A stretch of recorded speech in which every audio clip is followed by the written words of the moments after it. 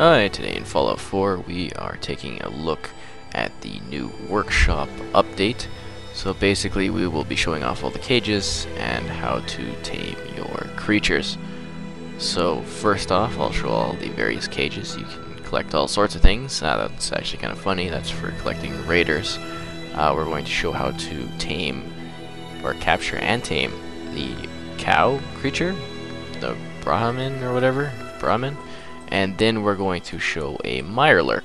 So basically, you are going to need the required things, obviously, and you're going to need power. So you want to build a small generator right behind them. I'm also showing off all the other things that come with it. Well, not all the other things, but a selection of other things that come with it. There's like signs, a bunch of new little things to build. There's like uh, a guarded plot you can make, which is really good. So you basically just want to put the little generator down behind it. And this is just, you know, brief showing how the trap works. We're actually going to put it to full effect when we capture a Mirelurk. So I actually had to run and get eggs, Mirelurk eggs, in order to do that, which was pretty funny. So yeah, there's just some other things you can build. You want to put a Brahmin feeding trough right beside it, because they chill out there.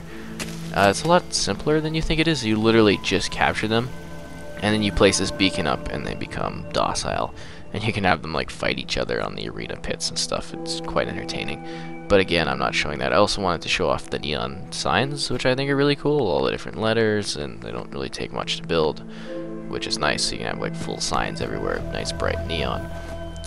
Cool, also running over here because I just want to show off the new little garden plot that is nice before we've had mods. But now we get this. So here's with the cows, uh, once you capture it, this could take a couple days or a week, you just sleep 24 hours if you want to like rush through it. You open it up, and then your trapped creature comes out. Now we're going to go to the Mirelurk. Ooh, so you need this beacon, this alpha beacon. It's in the other thing under traps. You close the power, and bam, you have a Mirelurk. This particular thing adds 6 defense.